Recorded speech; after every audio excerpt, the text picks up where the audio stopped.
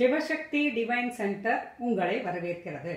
பல புதிய ஆன்மீக தகவல்களை தெரிந்து கொள்ள இந்த சேனலுக்கு சப்ஸ்கிரைப் செய்யவும் பக்கத்தில் உள்ள பெல் பட்டனை அழுத்தவும். இன்று நாம் தெரிந்து கொள்ளும் புதிய தகவல் இதோ. வருடத்தில் எல்லா நாட்களும் பிரதோஷம். அதிசய கோயில். பொதுவாக ஆவுடையார் மீது லிங்கம் இருக்கும் லிங்கத்திற்கு எதிரில் நந்தி இருக்கும். ஆனால் இந்த கோயிலில் ஆவுடையார் மீது நந்தி நந்தியின் மீது சிறிய லிங்கமாக ஈசன். இது போன்ற அமைப்பை வேறு எங்கும் காண முடியாது. நந்தியையும் சிவனையும் தரிசிக்கும் எல்லா நாளும் பிரதோஷ நாளாக கருதப்படும். மலை மீது உள்ள குகையில் அமைந்துள்ள இக்கோயிலை சித்தர்வர்கள் கட்டியிருக்கிறார்கள் என்கிறார்கள். சித்தர்கள் இங்கு வாழ்ந்து வருவதாகவும் கூறுகிறார்கள். மேலும் ஏழு கற்பாறைகள் இங்குள்ளன.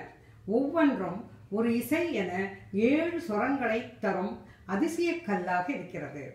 ஆயிரம் அடி உயர மலையில் பிணிப்போர்க்கும் அரிய சுனைகள் இருக்கின்றன. மேலே உள்ள மற்றொரு கோயிலில் கிருஷ்ணரின் சிலை இருக்கிறது. சித்தர்களால் உருவாக்கப்பட்ட இக்கோயில் அமைந்துள்ள மலை அனந்தலை மலை என்று அழைக்கப்படுகிறது. இம்மலை வாலாஜா அருகில் இருக்கிறது.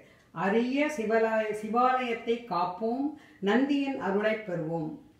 நன்றி சிவசக்தி டிவைன் சென்டர்.